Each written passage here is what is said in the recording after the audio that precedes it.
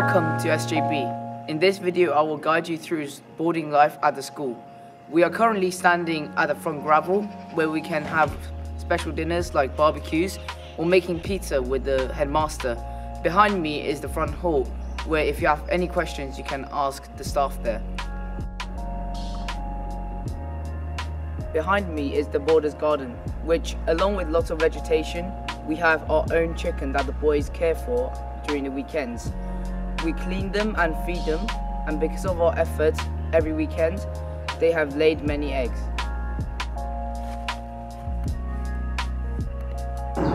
During the latter half of the school year, the boys try to enjoy the sunshine as much as possible, so they come down here to play numerous sports like football, cricket, or even tennis on the tennis courts.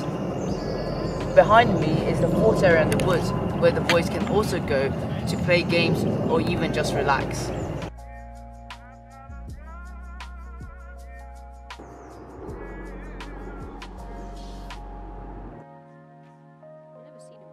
In our school, we have a warm swimming pool available to boarders uh, on many evenings. This can be used for fitness and for fun. We, this pool is also used for scuba diving, which is an opportunity available for the boarders once a year, provided by outside company.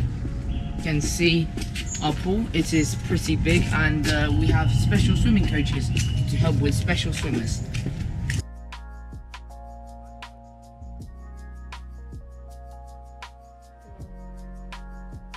Behind me is our modern sports complex built in 2009, which includes a climbing wall, a fitness suite, and our sports hall which can be used for cricket, football, basketball, and many other sports.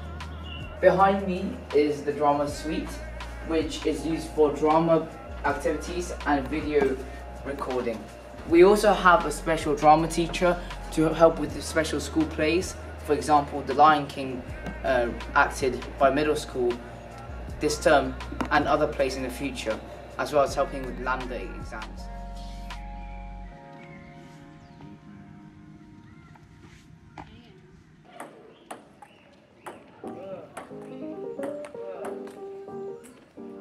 This is a dining hall. We have all meals provided by Lynn and her fantastic catering team. This is also where we host special dinners like Christmas dinner, where we celebrate Christmas together as a boarding team and have lots of fun generally. This is one of our two common rooms, which is used to chill and relax. There are many table games around here to play with, or if you're just tired, lean on one of those beanbags and then just chat with your friends. In one of the common rooms, there's also an Xbox with video games in, so you can play games with your friends and have a good time.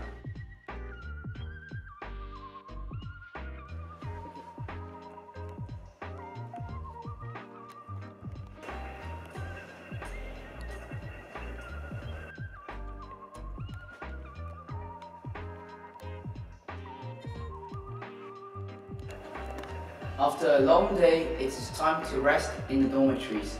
Each boy has their own cubicle with their own bed, study area and many lockers to store their possessions. The two different dormitories, Morse and Southall, have different policies in Anairo teams. The older boys stay in Southall and boys sleep later, like 9.30, while boys in Morse sleep um, around at 9 o'clock.